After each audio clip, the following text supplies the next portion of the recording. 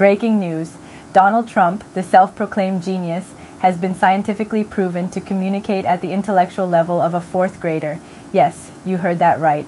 According to a groundbreaking analysis from Newsweek, Trump's speeches rank at the lowest grade level among the last 15 U.S. presidents.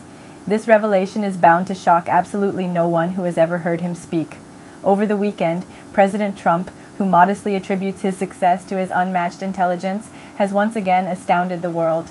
New findings reveal that Trump articulates himself with the sophistication of a fourth grader.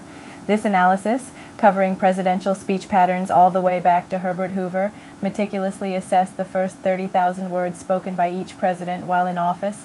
The results are in, and Trump's linguistic prowess ranks at the very bottom of the list. Using the Flesch Kincaid grade level scale and over two dozen other tests designed to measure English language difficulty, Trump has impressively secured his spot at the mid fourth grade level. This makes him the lowest scorer since Harry Truman, who, by the way, spoke at an almost sixth grade level. Quite the scholar in comparison.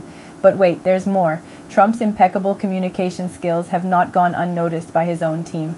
In Michael Wolff's explosive new book, several top officials have candidly described the president's brilliance. National Security Advisor H.R. McMaster reportedly dubbed Trump an idiot with the intelligence of a kindergartner.